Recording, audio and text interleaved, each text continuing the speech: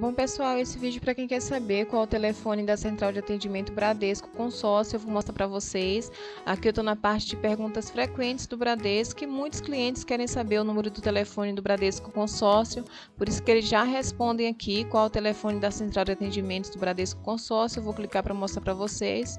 Deixa eu ampliar aqui um pouco a página. Pronto, aqui está o número. Se você mora na capital e região metropolitana, você vai ligar para o 4004 4436.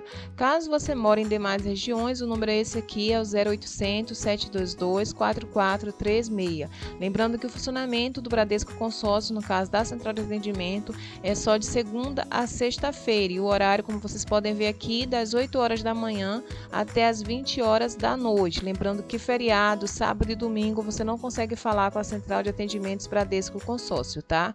Então é isso aí, espero ter ajudado. Quem queria saber qual o telefone da central de atendimento Bradesco Consórcio, se ajudei, não se esquece, me ajuda também, se inscreve no canal.